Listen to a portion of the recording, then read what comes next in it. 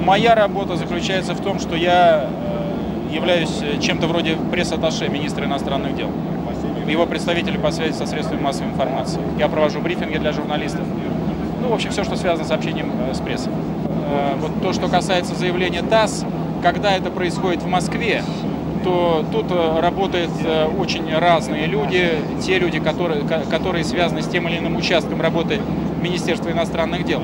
Вообще сказать, что вот я пишу то-то то, -то или другое, это было бы слишком смелое заявление, поскольку э, это работа, которая проходит через ряд этапов, и в конечном счете автором является министр иностранных дел, если это заявление, заявление достаточного уровня.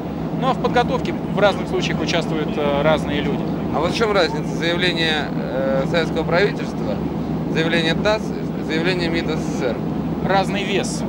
Заявление советского правительства – это наиболее весомое. Заявление МИД СССР – это следующая ступенька ниже. Бывает заявление представителей МИД СССР – это еще э, пониже. А заявление ТАСС – это такое на три четверти официальное заявление, то есть по своей весомости э, более низкое, чем, скажем, заявление МИД СССР.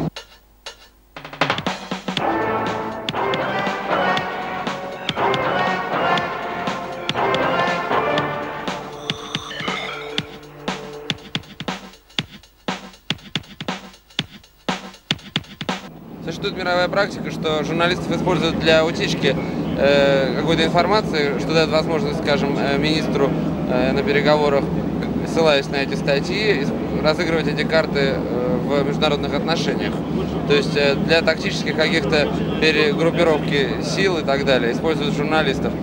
Вы занимаетесь этим или нет?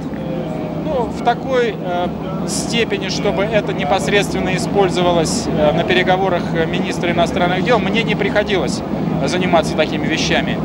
Ну, в отдельных случаях, э, раскрою этот секрет, мы даем информацию, э, в которой мы заинтересованы, но не прямыми путями прямых заявлений, а более косвенными путями через те или другие репортажи журналистов. Но я должен сказать, что Сейчас, в общем-то, позиция нашей дипломатии в результате развития гласности, демократизации, в результате активной деятельности нашего парламента усилилась. Потому что раньше вот нам приходилось, например, в переговорах с американцами слышать их многочисленные ссылки на то, что вот мы согласны с тем, что вы говорите, но наш э, Сенат, э, Конгресс никогда с этим не согласится.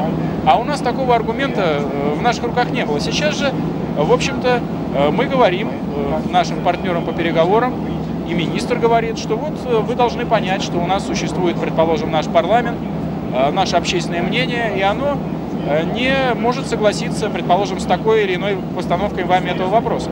Это усиливает, это усиливает. Это говорит о том, что, в общем-то, хотя демократия, в отличие, скажем, от ее отсутствия, делает политику более одномерной и где-то более жесткой, но в то же время демократия дает возможность ее проводить более гибко и, значит, более эффективно.